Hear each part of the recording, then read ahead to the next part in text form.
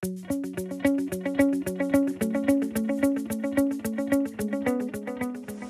guys, Abner Miranda here. Earlier I was working on editing some video and I came upon a run, uh, my run out of class, a talent defense class, where it was completely focused on rifle and tracking moving targets. The reason that this really stood out and I want to show it to you guys again is because I didn't really cover one facet that to me has become so commonplace, but I realized that it's, it's quickly becoming a lost art and it's iron sights. You'll notice that the weapon that I'm shooting has no optic on it. That's by design. But I wanted to set up this rifle with just Troy micro battle sights because I wanted to practice the skills of tracking a target with just iron sights. Now here's what's crucial. When you're picking your sights, make sure that you're picking sights that have a kind of a diopter setup where your front sight post has more of a ring to it as opposed to the, the, the two blades on either side with the post in the middle. The reason for that is that front will actually slot visually into the rear. And basically what it gives you is kind of like a, a loose red dot effect where everything inside of that ring, inside of a very close range is going to get hit. It's not going to get hit precisely, but it's going to get hit.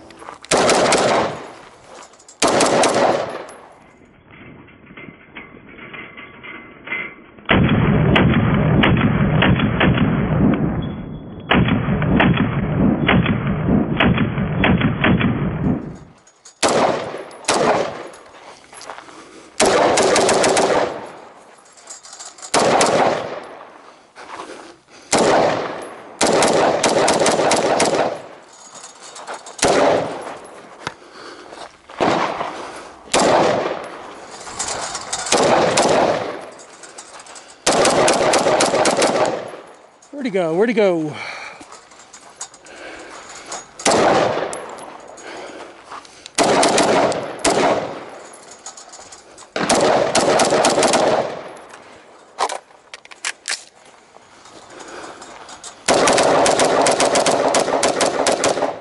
So as you can see, the key to working with iron sights is going to be, first of all, get a very tight zero.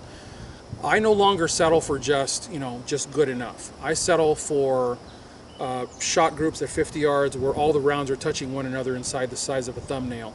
If I can get if I can get shots where all those bullets are just touching one another, and what I and what I mean by that is shots touching one another inside of a thumbnail because remember you can have three shots touching one another one two three and they're outside the expanse of a thumbnail but if I can cover that little group that little clover leaf with my thumbnail that to me is a zeroed rifle. And yes you are able to get a tight enough zero at 50 yards with iron sights that will that will yield roughly the size of a nickel. If you can get your weapon that tight which requires patience requires you allowing the weapon to cool down so that you're always dealing with a cold bore shot if you can get your iron sighted rifle that tight, what you're going to end up with in a fight is a weapon that is that is truly shooting uh, true to where you're looking. So for those of you that want a great rifle and you, know you go out and you either build it or you get it, and then you say, well, I just don't have money for an optic. Don't worry about it. Get a really nice set of iron sights, and my favorites really guys are Troy. Uh, anyways, that's what I've got for you guys today. As always, I thank you guys for watching. God bless you all. Get those